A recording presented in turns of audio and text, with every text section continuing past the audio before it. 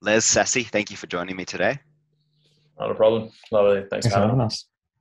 So, just uh, before we get into this, uh, obviously, I'm the only one on camera here, and you two have some interesting um, characters up as your DP. So, just to begin with, um, and I'm assuming that this has a lot to do with the doxing phenomenon that happens and occurs within the NFT space.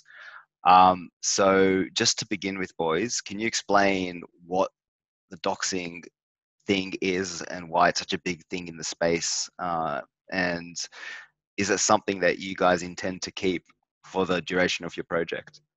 Yeah, no, that's a great question. So, uh, main reason we don't really show who we are is just because of how the NFT space operates in general. Um, so a lot of you see like within the NFT space itself, a lot of it is quite rapid, quite pump and dump. Um, many people have really high expectations, very very short timelines. Um, so with our thing, we are trying to push something a bit more long term. So uh, doxing ourselves isn't something that we have off the cards. Um, we just want people to realize that this isn't a pump and dump project. The expectation should not be, oh, I bought in in two weeks, we didn't triple our money. Um, so creating that kind of expectation for a community of holders who actually are willing to wait and willing to actually create a product um, with us. And then at that point, once people realize that, um, we'd feel much more comfortable about like, you know, like actually showing who we are and then uh, doing all that. But I mean, we do run quite a couple of projects and we are quite public of which projects we run.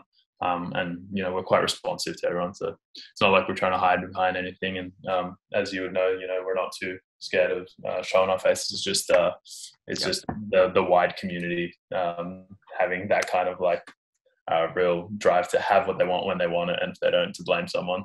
Um, you know, yep kind of gives yeah, it's a real it's a real privilege. I've got to say that I have seen both their faces. It's a privilege and an honor.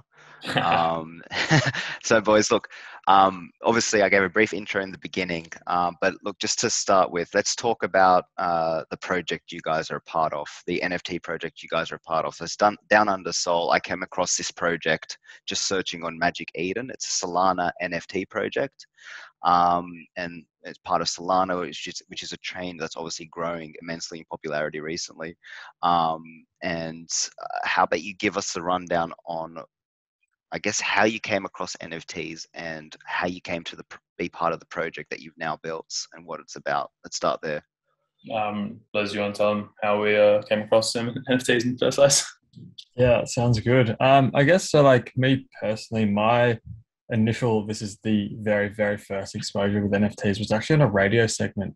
And it was sort of discussing uh, the intersection between real art and nfts and the potential that it gives back to the creators of the content. And for me um, as a sort of as a musician i thought oh wow that's actually quite a cool way of of you know removing that intermediary. So that sort of sparked my initial interest in okay this is what nfts can do but in terms of us and our project, uh, it was sort of inspired from a few of our mates that we went to uni with. They actually founded a super successful uh, NFT project on Solana, and that was the boys who did Contrastive. And from that, you know, we sort of said, hey, we've got pretty similar skill set. Um, let's see what we can do. And obviously, there are financial incentives in the whole NFT space, which I'm sure everyone has sort of floating at the back of their mind but I think for us, you know, the there's sort of a true belief in what this technology can provide, whether it's, you know, the future of music, as I was saying, paving the way for the future of art, even in the event space. I think the potential and possibilities of what non-fungible tokens can do are really endless. And so, you know, getting into the space now, getting in early is something that, you know, it's a bit of a non-negotiable in my opinion. So when you say like, okay, so let's let's talk about why this is important for art and music because we're speaking to an audience who perhaps have only heard the term in passing um, the term nfts as you mentioned it stands for non-fungible tokens. Now let's talk about what an nft is and and how it actually provides this value proposition to music art anything that needs a sort of um, authentic authentication aspect to it. Um, why is it that NFTs have really capitalized on those sectors, in your opinion? So, what's the underlying technology that we're discussing here? Yeah, so I mean, the great, the beautiful thing about NFTs and like through the name, like the whole non-fungible token, is you can't replicate them. So through the blockchain, they are like one of one stamps that literally cannot be forged. So the beauty of that, I mean, you can think about it in, um, you know, like uh, the the explanation I usually give to my parents whenever I explain to them what I do is uh, I, I use the analogy of like the rare baseball cards. So when you buy a baseball card, you know, it has inherent value um, because what it represents and what you can do with it and potential community that it involves you in. If you're if you own this card, you know you get recognized and potential community gives you access to special things. But the problem is with a physical card is it could be replicated. You could have frauds, and that does happen quite often in the real world. Um, so what NFTs do is they provide you with a way to own some kind of utility, own some kind of um, asset that cannot be replicated, and you can imagine uh, where that could be used in um, you know the real world quite often. Say for instance, um, you know I'm going to a concert. Instead of releasing those tickets as something as physical copies, uh, let's instead release them as NFTs. And then those NFTs, because they're non, uh, you can't forge them. Only one person can hold them at once. Only one person can redeem them. So um, the utility for NFTs is definitely something uh, that is going to be growing a lot. Um, so the primary use case for NFTs these days, uh, in our current times, obviously like these PFP projects, um, owning PFPs uh, like profile pictures, and then people attaching utility to that as well. So, so wait, wait, just wait on that on that, Sassy. Just so for the audience, so the PFP projects, um, just because I'm aware of it, you guys are aware of it. Yeah. Well, they, if you're not on Twitter, you may not be aware of it.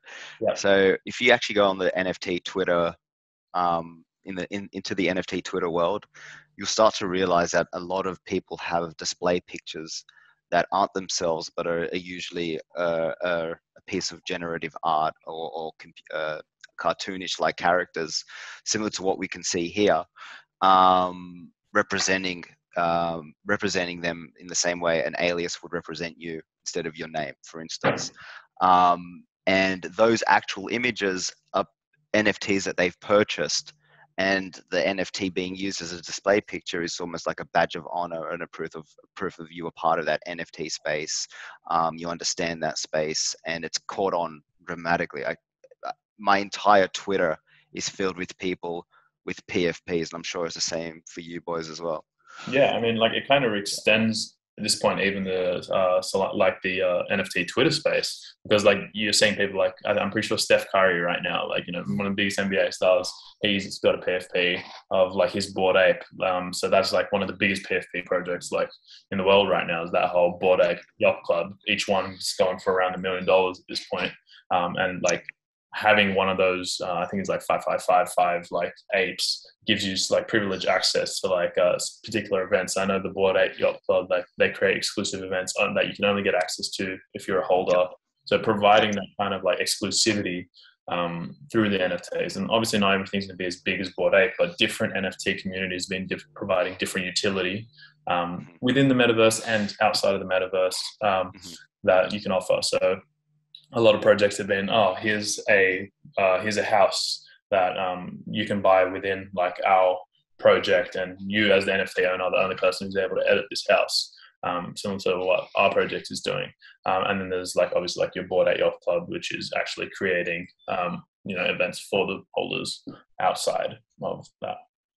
I guess just to add, it's sort of you know with the profile picture, you're buying into a community. So a lot of current the current incarnation of what NFTs are is buying your way into a community, which then gives you access to uh, certain perks, which a lot of people value because yeah, you know, community is definitely a, a currency in today's world.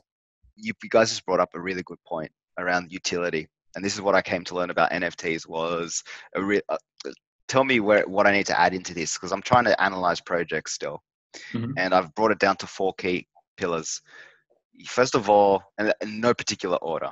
Okay, so you got the art, you got the community, the community vibes, you got the utility, which is what the token grants you access to and enables permissions off, and then you have the status. Eventually, the status points.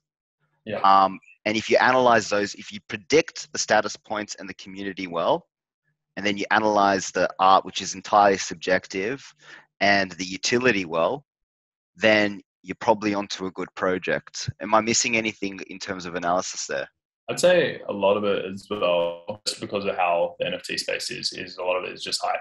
Um, so have, having how much the team itself one is developing new features that are like keeping up to date because it is a very rapidly evolving space so creating features that are rapidly evolving so also looking at the competency of the team number one and then number two um, as, as bad as it is but like the degeneracy of how quickly they want to um, yeah. they want to innovate so there's some. Can we clarify? Can we clarify for the audience that degen being a degenerate in the space of NFTs is not a bad thing. It's actually yeah. uh, a badge of honor for a lot yeah, of us. In a way. So do, you explain, way. Do, do you explain what a, de- do you explain what a degenerate is?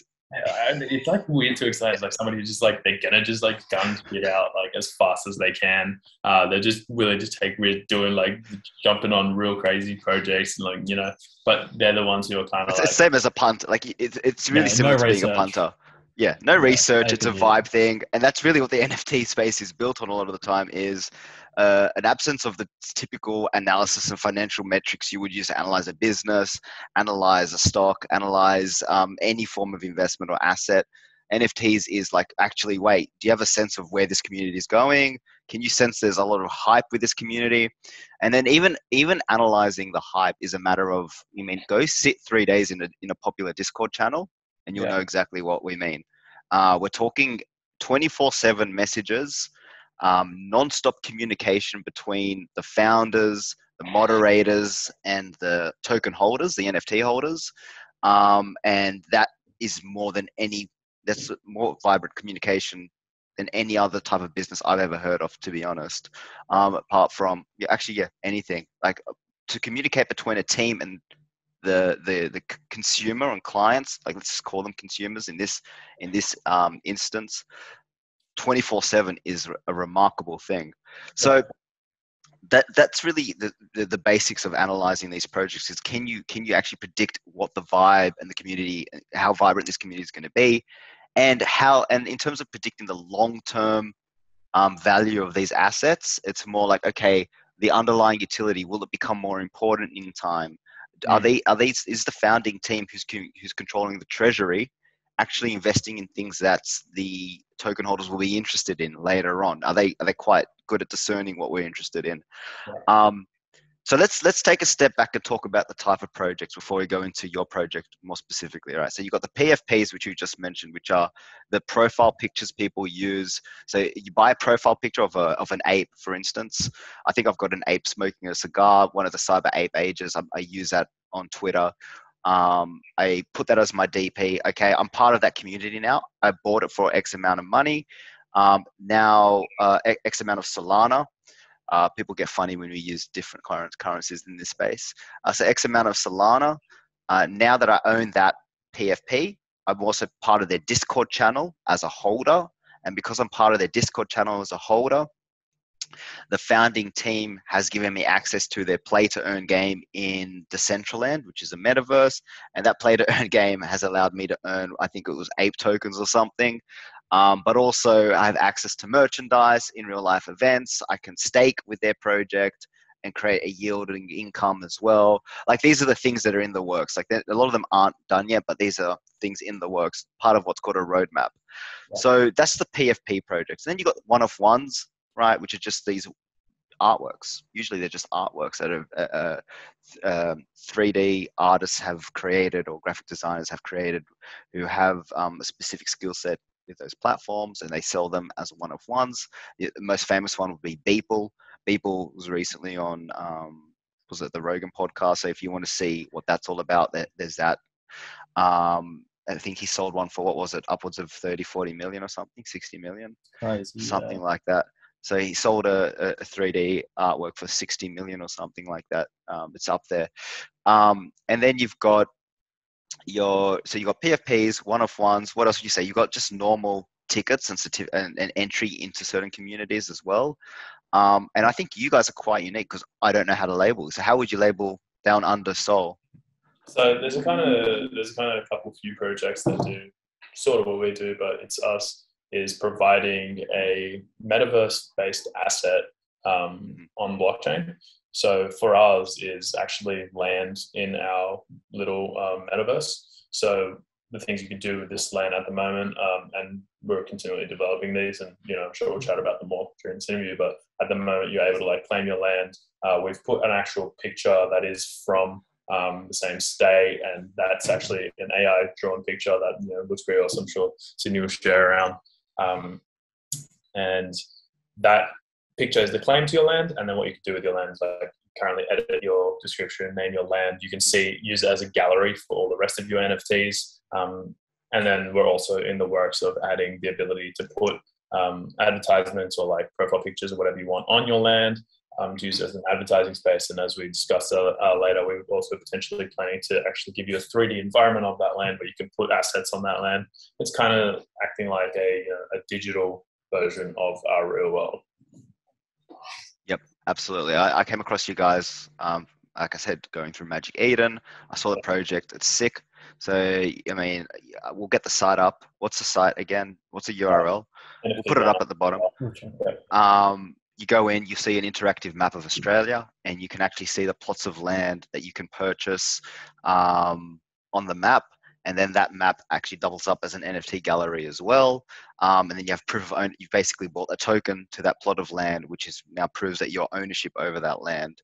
Um, and uh, the roadmap for you guys, which is really the most interesting aspect, is not only the art and I guess the photography involved as well, so it's got those two aspects, but also what you're going to be able to do with that land as you amass it later on and the tokenomics involved with it as well. So let's talk about the roadmap here. So what do you guys see as your initial roadmap and what what are your like highest ambitions later on down the track as well for potential token holders to uh, anticipate?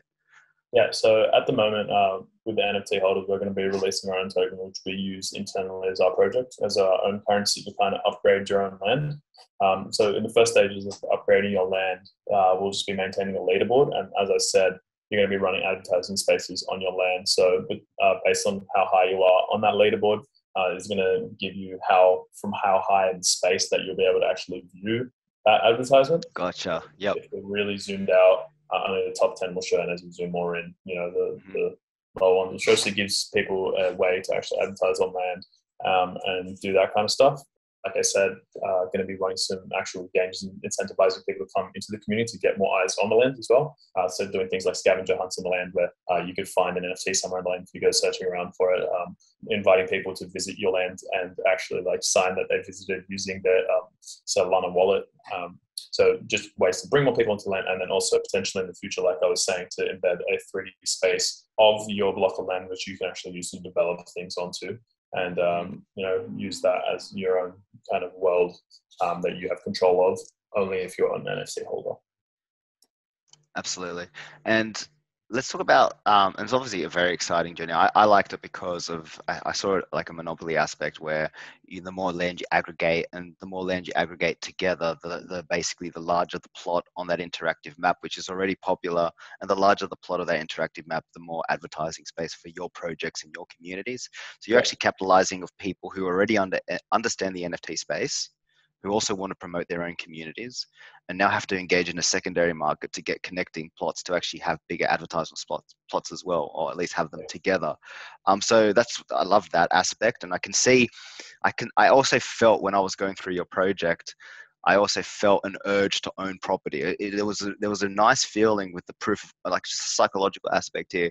That proof of ownership thing is something a bit rare for our generation you know, mm-hmm. given the fact that owning assets in our generation has been extremely hard. Yeah, it's right. Like just getting on the getting getting on the property ladder in Australia alone, very hard.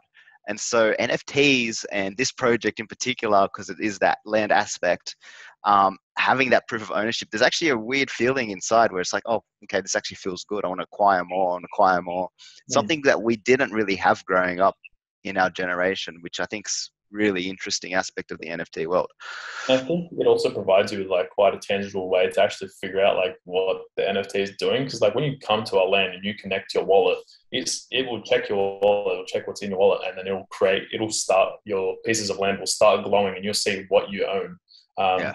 So getting that connection in between like what's in your wallet and how it can actually be used in different websites on the internet um, in this new Web 3.0 world Um, that's the Yep. kind of link that you know is kind of driving to figure out like you know what utilities NFTs actually give me. How can I actually utilize them? and actually see what they Yep. do? So what the, I liked you guys because you had the art, like we did, uh, you had the art, you had the the art was unique. You had the interactivity, which is I think falls under the utility. You had the utility, which is the the ownership, the future roadmap, and the NFT gallery. Mhm. Um, the community is definitely there. Um, and then of course um, the fourth pillar. What was my fourth pillar again? Jesus. Uh, Community, art, utility, and status. Status is another thing because the status was a property ownership thing and how much property you will own. And as you just mentioned, how f- clearly you'll see that from space depending on where you're on the leaderboard. So you guys had all those elements and it was it was um, it was a bit of a no-brainer from there. Now um, let's talk about the journey to minting, like the creation to minting and like the range of emotions you went through. Because you minted, um, you launched and you guys sold out pretty quick, right? maybe sold out in like two days. You sold out in two days. And how many did you sell? A thousand. You sold a thousand. Uh, yeah, you sold a thousand tokens in two days um, from launch. What did you guys do in the lead up to that, or was it a completely? Were you expecting that quick, or what, what was that Um, about? So So much uncertainty. Yeah, so Tell us about the uncertainty. That's what we want to hear.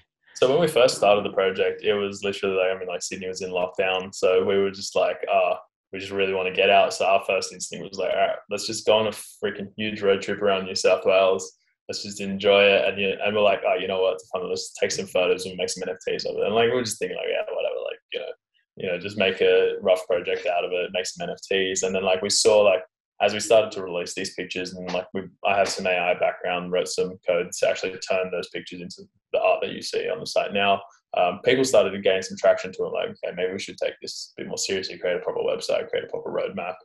Um, and as we got to mint day, I mean, like, we had no idea. Like, as our first project launching, like, you hear some projects that sell out three seconds, some projects that sell out at all. You know, we've had mates who sold out in seconds. We've had mates who've made projects and, you know, didn't sell out, was a bust, ended up costing them more money than they put in. So, like, I mean, it's like you, you don't know what to expect. I guess the good thing on our side is like we're all devs and quite technical, so it didn't cost us too much upfront.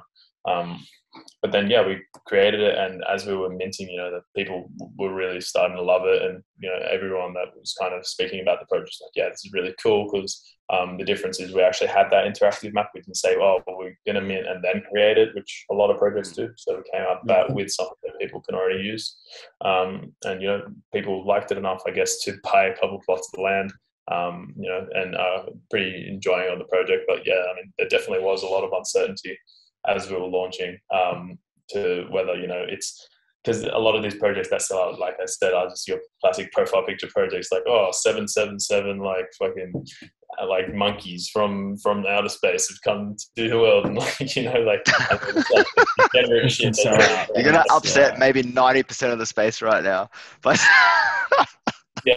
but I guess us doing something different, that's what kind of made us have that uncertainty, right? Like we had no idea if we'd sell it because what we are doing was pretty different to like what the space kind of appreciates. Um, but I guess like people appreciate it enough help us start. if you if you're in the space, you will really respect that that bit of um, humor there because a lot of the projects are writing these weird narratives, and you know, um, apart from the fact that every second project involves an ape and a monkey, um, it, it really can get quite repetitive. And so when you come across something unique, you jump on it. Um, unique, good roadmap, decent um, team um, with a plan, and that that's and people who have things to show up front. That was the other thing you just mentioned. You had a map, an interactive map, something you've developed up front that the token holder can see straight away before they even buy. yeah, Um, as opposed to being promised this, I guess it's a promised land for a lot of these um, projects. That, that literally, quite literally, a promised land in the metaverse with magical tokens that will appear one day if you stick around long enough. yeah. Um, so, so having the ability to discern these projects can be quite profitable if you are an investor, of course. Um, do always do your own research. Um, I, where I know, but for, for the audience, where where do they start immersing themselves in this? In if my in, in the NFT world, my opinion, it's Twitter. Go to Twitter, go join spaces, go speak to the founders directly, and then join the discords. Understand what the community is like understand how vibrant it is, and then do the fundamental research after that. But Twitter Spaces has to be the go-to, right? I'd say my like the way I've told a couple of my friends to jump in um, is number one, just create a wallet, um, which takes a second. It's a Chrome extension. You download it. Um, you know, you can go to Binance and transfer funds, or like go to CoinSpot, whatever it is, whatever your main provider is. Transfer funds in, or if you have some friends already in the space, tell them to transfer you a little bit um, that you can play around with, um, and start from there. And once you have a wallet, I would the way I would recommend is like I, am I'm, I'm a big like believer in throw yourself in the deep end type shit. So um, what I would do is jump on Magic Eden, take a scroll, buy something real cheap, buy something for 0.1 sol, and then just follow them on Twitter, see what they're up to, join their Discord, understand just how one project works because the fundamental basis for one project kind of overlays the entire space of you know having a Twitter releasing your events in your Twitter, having a Discord. In the Discord, like the channel's always organized around the same. They have their announcements, they have the main chats, they have like their, you know, their partnerships, all that kind of jazz. Get your wrap your head just around how one project works and buy something cheap. You know, buy something for 0.1 sol. It's like 20 bucks. You know what I mean? Um, to learn something, in my opinion, like 20 bucks is nothing. Um, so learn that from one space, and then just by following that one space, you're going to see all the big investors. They're going to be trying to yeah. push. You see the process. Um, so you, you have like your key big names, your Sol Big Brain, your Sol Buckets. Follow the real big guys. They're going to point you towards like the bigger investors, and then the algorithm of Twitter starts taking over. You follow a couple of them, and they'll, they'll start referring you the rest of it. Absolutely, and then you got you know then you you start to learn how hard it is to get on some of these white lists, and people want to know what is the, what the hell is a whitelist, and then uh, the best the best way I can explain a whitelist is a pre-IPO, like getting on the list for a pre-IPO company. Yeah. I mean, before, I mean, it's just like before they're listing. They have a thousand tokens and they're going to whitelist like you know 300 of them, so you can guarantee buy one before the rest. It's going crazy now. It's going crazy. I was on Twitter. I was having a look at a few um, projects today, and the, you know retweet and we'll get you on the whitelist. 30 spots. It's like 5,000 retweets on every single one I'm seeing. So people are rushing in to get because being on a whitelist is like the it's like it's pretty much free printing of money, especially if the whitelist gives you a discounted rate. Um, and if so, it's a popular project and the story, you've made money. You get on yeah. a whitelist, it's popular, um, and you've got an exclusive spot. You've made money on the secondary market. Yeah. Let's explain something here, because I the reason I brought up whitelist is I want to. This took me a while to understand what the hell all these terms meant. So for everyone who's watching, project starts to tease what they're about then they create a Discord, and then from the Discord, they'll put you onto a whitelist.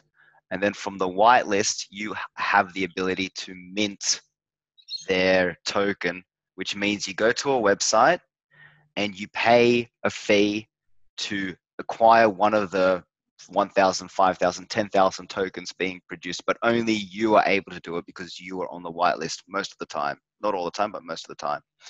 And then once you purchase that token, you will have a secondary market on another website, such as OpenSea or Magic Eden, where you can on sell the token that you've acquired. Yeah. So that's a basic process just for people to understand.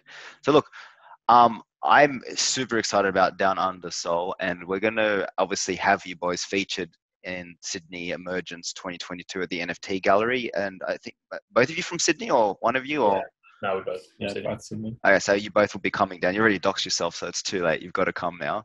um, we'll have we'll have your we'll have your projects up for everybody to see. You'll be there, happy to meet the investors and happy to meet the people in the audience. I'm sure, and explain what the project's about.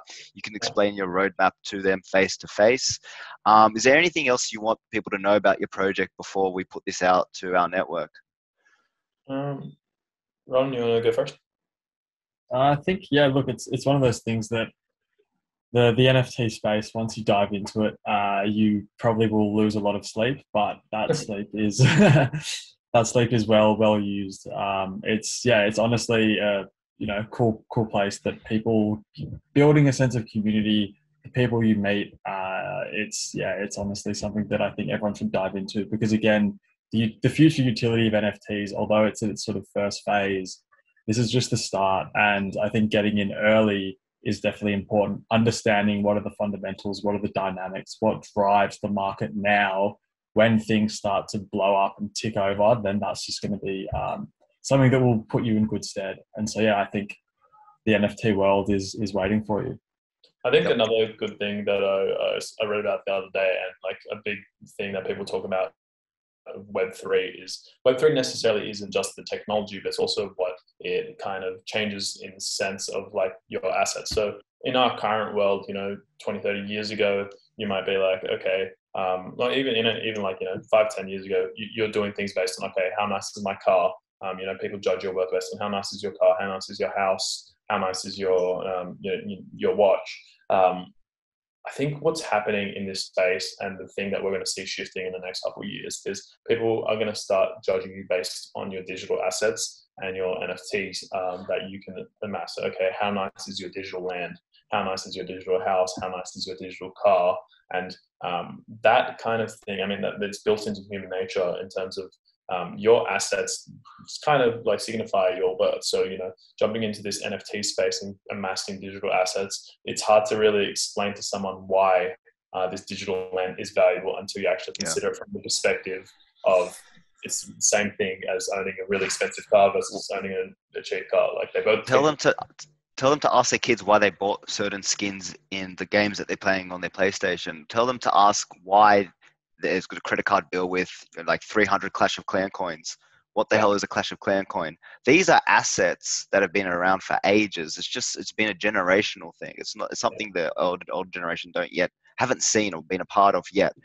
Um, now so, NFTs have enabled them to actually own and on sell those assets. So it's a whole different ball game as well. Yeah. So you're right. And it's not it's not just controlled by like say Clash of Clans tokens or Fortnite tokens. Like when you buy those tokens, you can't use them elsewhere. You can't trade them back. Uh, whereas I think what NFTs does is it gives you an asset that you can resell, that you can hold on to um, to show your worth. So I think to explain to the average Joe why our project is valuable, uh, it does kind of not what not many other projects do in the space, which is offer you land. It offers you utility in terms of like what you can do with that land, and it gives you a gallery that you can use in your digital world. So I think that's really to show off your assets, which is what which is what yeah. is going to be a really cool aspect of this, right? Yeah. I, I, I final note from me, I, I like why why I'm really excited about this as an investment. I, I find it entertaining, and that's why I find it great as a great investment because I think all right, you've got Web 3.0 coming around, right? And so you mm-hmm. have you have a, a future where you're always signing in with with a wallet into these platforms, into these um, sites, whatever you want to, whatever they'll be called in Web 3.0. Um, and you have a massive transfer of wealth occurring between um, the older generations, millennials and Gen Y, Gen Z, sorry, Gen Z, um, whereby we're putting our money. When I don't think we're going to be a Netflix generation that sits and binges on on shows. Our form of entertainment will be the NFT space. Yeah. And I think we are taking money from the entertainment space like no tomorrow. Oh, and people, yeah, it's already happening. I mean, Netflix is opening up a game, a games aspect to their to their subscription very soon as well. I'm pretty yeah, sure. I like every major service has announced some kind of crypto or NFT integration in the last. It's our form of entertainment, so it's not money coming out of thin air. We're actually we're getting money from your the older generation being passed down. It's happening, and there's a massive flow coming, and we're putting it. Our form of entertainment isn't watching TV, isn't going to the movies, isn't that our form of entertainment is this NFT space, which is the most entertaining thing we've probably had ever. I mean, constant communication with the community, games where you can earn money for playing these games, mm. um, and acquiring acquiring digital assets at a reasonable price and on selling them and making a profit. This is our form of entertainment, and you can take part in it as young as fifteen. So, so the money's coming in the transfer of wealth is coming in. This is a sector you want to be a part of. Yeah, the thing is, it's also like, um, you know, when you're saying like entertainment, people might be like, oh, you know, you're buying a picture, but like you want to really look into the projects and what kind of utility they provide. Like I've, I've spoken to, I'm um, works with a project called Lux AI, and what they do is own one of their NFTs, and they give you a virtual VR uh, worlds that you can invite your mates over to and actually play games chess in there. Like that's their that's their level one that they've already released. Like imagine in the future you own that and only you can really enjoy that VR space. No one else can just because you own that NFT. So. I saw I saw one of those on Magic Eden, like the um what's the other one on Magic Eden, the the recent metaverse one where you can buy you buy your own portals. Which Portal. one? Yeah, oh, portals, portals. Yeah. get your own port. It's you get your own room. You get on, and you can invite people to hang around. Um, it's your space. You own it. Uh, it's not even put, and it's not even putting on the VR goggles. It's just in browser, and people are buying it like no tomorrow. So, um, yeah, this stuff is extremely entertaining. The the utility and and where it goes from here. Um, nobody can. It's really up to innovation at this point in creativity. A a new thing could come up tomorrow, but the underlying technology allows for that creativity, which is the most important thing. Um, but yeah, we're going to have you boys at the gallery. We will can't wait to see you there. I'll be excited to shake your hand in person. Um, and good luck with the with the project. We'll be watching. thank you so much. Appreciate it. Uh, we appreciate you for jumping on and uh, you know being part of it. Absolutely, man. Speak to you soon. All right.